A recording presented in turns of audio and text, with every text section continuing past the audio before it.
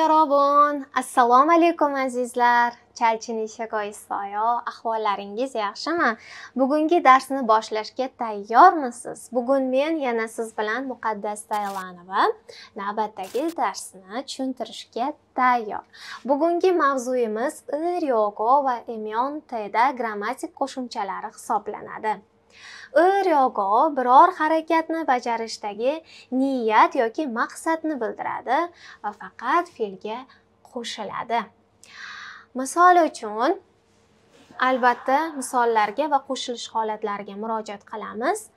Undosh bo'lganda ir ryogo ya'ni ı orttiriladi mokta mogi ryogo ilkta ilgi ryogo yoki ulli bilan tugasa aryogo shaklida bo'ladi. Sada saryogo mandilda mandilyogo.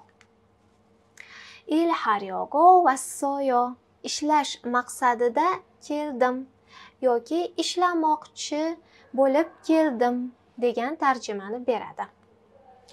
Imyon teda fe'lga qo'shilib sa bo'lmoq degan tarjimani beradi.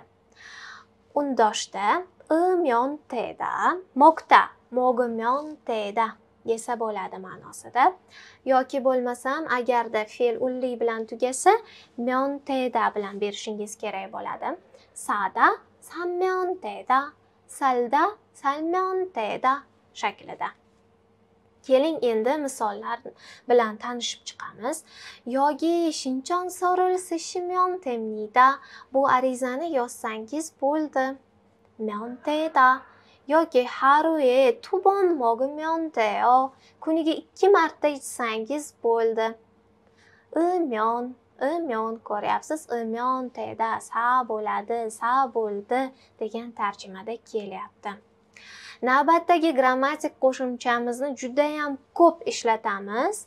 Ilsi itta opta va undan so'ng iryomyon qo'shimchalari. Ilsi itta opta fe'lga qo'shilib ilsu itta bajara olmoq ilsu opta bajara olmaslik ma'nosida qo'llaniladi.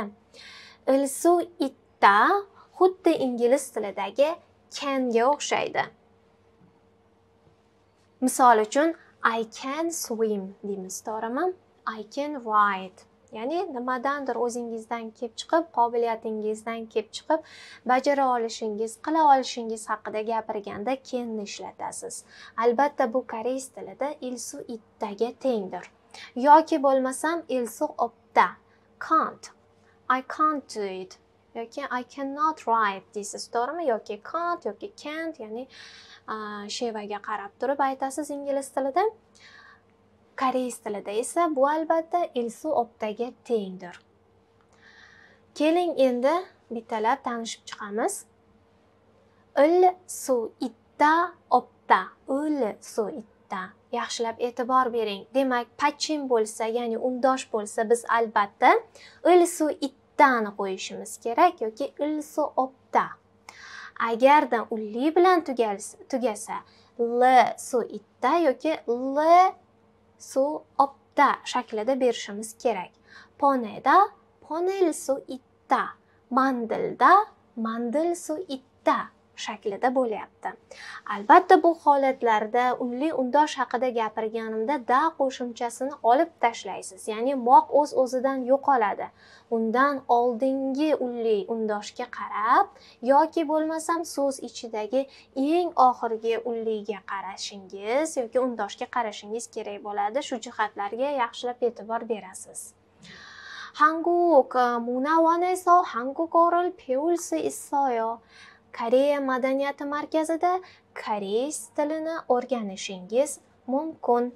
Elsu Isoyo o'rganishingiz mumkin, o'rgana olasiz tarzida yoki Hyongshinun Hanguk imshigil mandulsu Isoyo Hyeongsiz koreys taomlarini pishira olasizmi?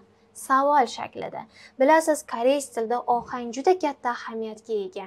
Darak gapingizni ohangini savol shakliga o'zgartirsangiz savol e, tarzidagi jumla paydo bo'ladi. Bu yerda ham mandil soyo shaklida demak savol shaklida berilyapti. Ne pulkogi rilmandil soyo ha pulkogi pishira olaman.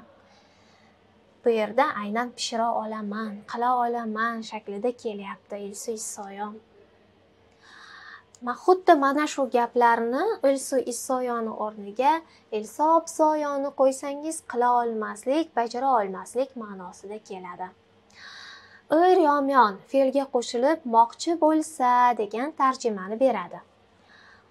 Undosh bilan tugasa ya'ni pachin bo'lsa so'z ir yomyon patta padir yomyon yoki bo'lmasam unli bilan tugasa ryomyonni o'zini qo'shishingiz kerak bo'ladi mashida mashiryomyon mandilda mandilyomyon shaklida 김치찌개를 만들려면 김치하고 고기가 필요해요. 김치찌개 pishirmoqchi bo'lsangiz kimchi va go'sht kerak 만들려면 moqchi bo'lsangiz sobor을 보내려면 우체국에 가야 해요. pasilka ya'ni qandaydir pochtadan mahsulot yubormoqchi bo'lsangiz sovg'ami yoki qandaydir bir narsa yubormoqchi bo'lsangiz ma'nosida pochtaga borishingiz kerak poneryomion moqchi bo'lsangiz poneda yubormoq da olib tashlandi li bilan tugayapti ya'ni diftong bor e shu sababli romyon qo'shildi endi keling yangi so'zlar bilan ham tanishamiz. Pyonji pyonji xat pyonji punktu pyonji punktu xat konvert. Yopso yopso открытка bilasiz открытка tabriknoma to'g'rimi? Tabriklash uchun yuboriladi. Kadi kadi kartochka. Pyonjiril sida xatni yozmoq pyonjiril poneda xatni yubormoq. 상담을 받다, maslahat olmoq 상담을 받다, maslahat olmoq ko'yukul 받다, ta'lim olmoq iyonhada foydalanmoq hengsaye chamyoada tadbirga qatnashmoq bugungi so'zlar va grammatik qo'shimchalar shulardan iborat edi. Vazifa har bitta grammatik qo'shimchalarga beshtadan gap tuzish albatta yangi so'zlaringizni ishtirok ettirgan holatda bajarishingiz kerak bo'ladi. Bugungi berilmoqchi bo'lgan ma'lumotlar shulardan iborat edi. Sizlar bilan kelasi darsda ko'rishguncha anyong